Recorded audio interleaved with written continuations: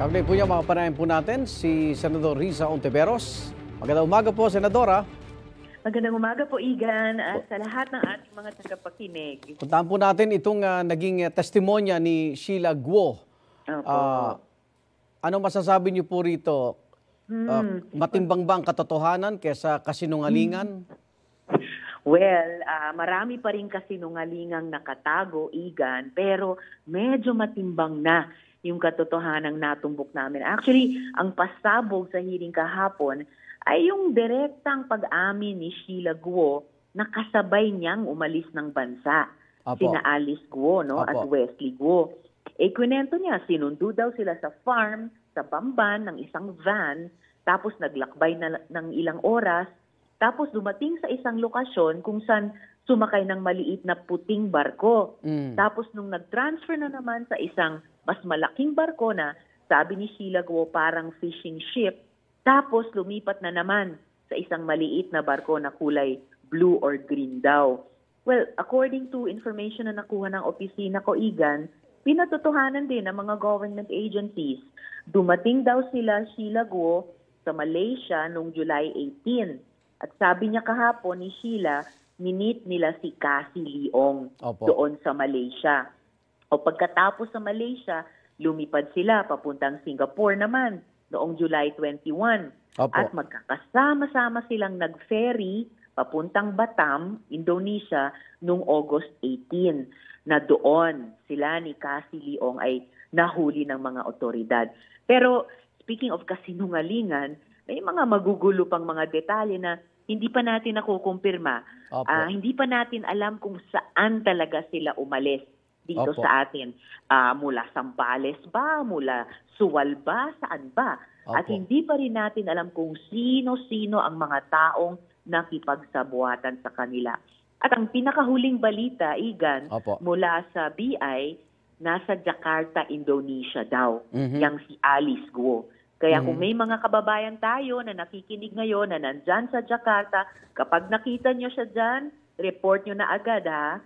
Kasi sa panig namin din, Igan, hindi kami titigil hanggat mapanagot ang mga nasa likod ng pag-eskapo ni Alice Guo. Opo. Ah, doon sa pag-escape po nito at Mhm. nagbigay ng protection sa kanya, civilian ho ba o meron ding mga tao sa gobyerno?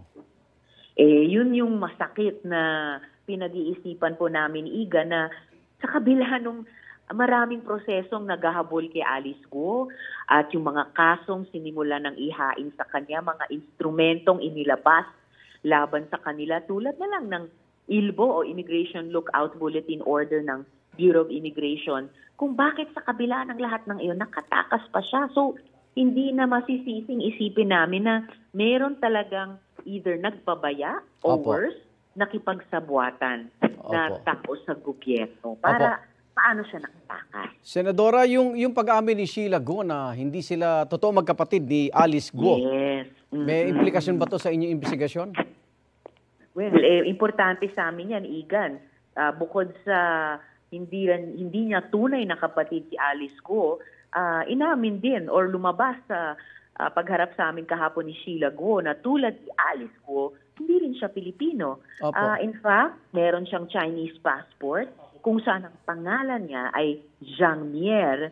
At ayon sa NBI, ang fingerprints nitong Sheila Guo Mm. ay nag-match sa fingerprints ni Zhang Mier. Mm. Tulad ng ah, pagpapatunay na nila na fingerprints ni Guo Huaping at ni Alice Guo Mm. ay magkapareho. At mula din sa bibig mismo ni Sheila Guo kahapon na yung ama at ina niya ay nasa China. At siya mismo pinanganak sa China. At 2001 lang siya nakapasok dito sa ating bansa. Ah, kwento niya, kinuha lang di umano siya ng tita niyang si Lin Wenyi na partner di umano ng tinuturing niyang ama na si Jian Zhongguo Opo. para magtrabaho sa embroidery business nila sa Bulacan. Eh yung dalawa rin yun ang sinasabing mga magulang ni Alice Guo, di ba? Mhm. O ito ngang si Jian Zhongguo ang sinasabing totoong tatay ni Alice Guo at siya ring nag-ayos daw ng mga delayed registrations of birth nila, Mhm. si Alice at si Sheila. May pinakita din ako kahapon, Igan, sa Oo. hearing, na NBI record na nakapangalan kay isang Sheila Guo, kaparehong birthday, sa Sheila Guo nakaharap namin kahapon sa hearing. Pero Oh. ibang tao ang nasa photo. So parang doon kay Alice Guo din. So naitanong tuloy namin tungkol kay May isa pang Sheila Sheila Go. Oo. Oo, may isa pang Sheila Go, Igan. So, stolen identity na naman ba ito? At pareho din ito sa NBI record na Mhm. ni Sheila Go na pinakita ko dati na parehong mga detalye pero ibang tao ang nasa photo. At Okay. ito pa, Igan, ang nakapagtataka pa, Oh. itong NBI record ni Sheila Go at Alice Go, yung ibang Sheila at Alice ha, ay magkapareho ang address. 138 Kalanchaw Street, Project 8 QC pareho. At ayon mismo sa inyo, sa media, wala po namang taong nakatira sa address na to. So, al- to- ano, para ulitin, stolen identity na naman ba to? Eh, nakaka-alarma na.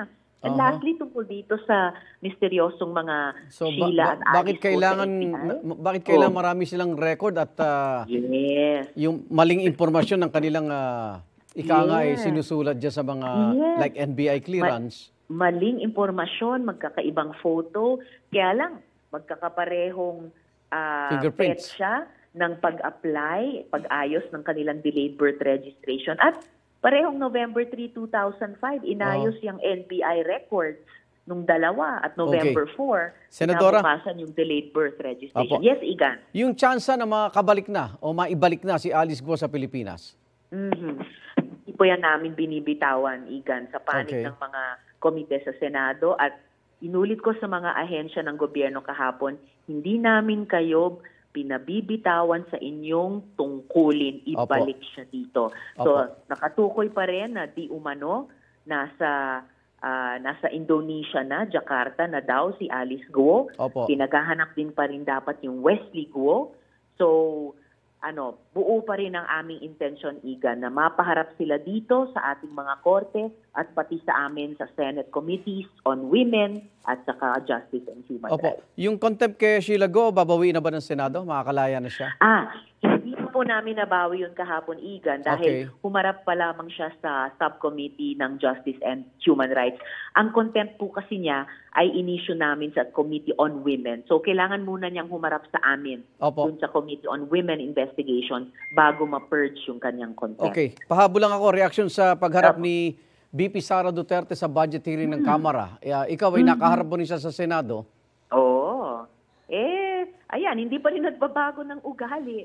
Yung sense of entitlement, ibang klase rin talaga na nakakashock mula sa pangalawang pinakamataas na opisyal ng gobyerno. Hindi po pwedeng pumasa yung ganyan, Igan, dahil hindi lamang yan perang hawak ng gobyerno, yan ay perang galing sa buwis ng mamamayan at tama lamang dapat busisiin namin sa Kongreso, whether dyan sa House o dito sa Senado, at tamang dapat maging accountable ang bawat executive official para sa hinihingi nilang budget.